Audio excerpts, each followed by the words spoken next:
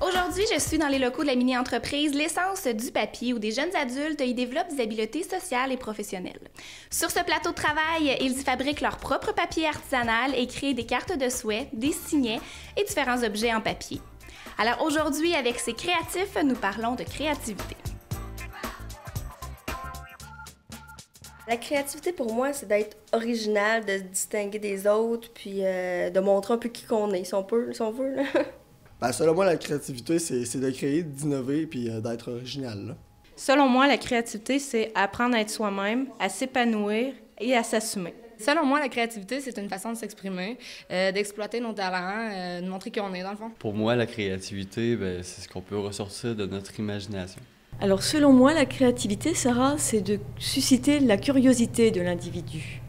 Ça sert à se distinguer des autres, euh, sortir un peu du moule, euh, montrer qui on est par ce qu'on fait, ce qu'on dit, euh, la manière qu'on agit. Ben, selon moi, ça sert à appliquer notre personnalité concrètement. La créativité sert à s'épanouir et à être soi-même. Bien, la créativité, ça sert à s'extérioriser, à monter des projets avec ce, qu'on, ce que l'on aime, la façon qu'on est.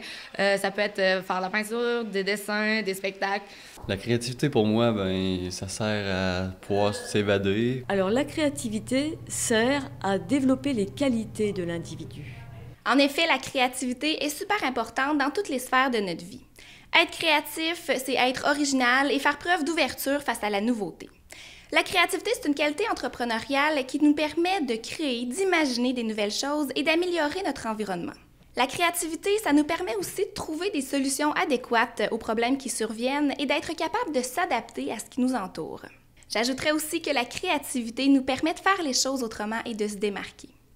L'art particulièrement nous permet de libérer nos émotions et d'affirmer notre personnalité, que ce soit par euh, notre habillement, par notre musique qu'on écoute, par les activités qu'on fait. Il y a mille et une façons de vivre notre petit côté rebelle sans être en marge de la société.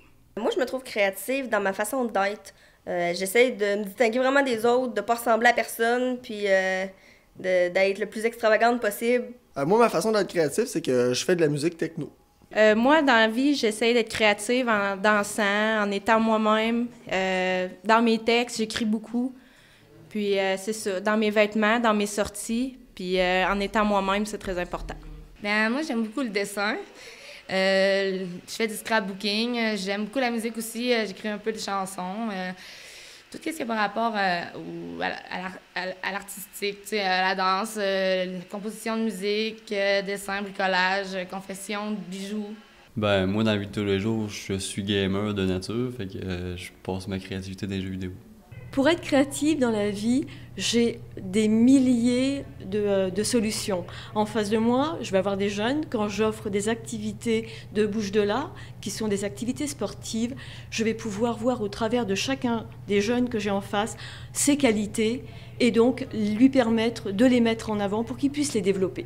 Saviez-vous que tout le monde peut être créatif, que ce soit à grande échelle comme Guy la Liberté pour le Cirque du Soleil, ou à plus petite échelle comme le boulanger du coin ou comme la secrétaire qui initie des nouvelles méthodes de travail? Bref, la créativité est toujours bénéfique dans un milieu. Elle se partage et elle permet de faire avancer les choses. Et vous, de quelle façon manifestez-vous votre créativité?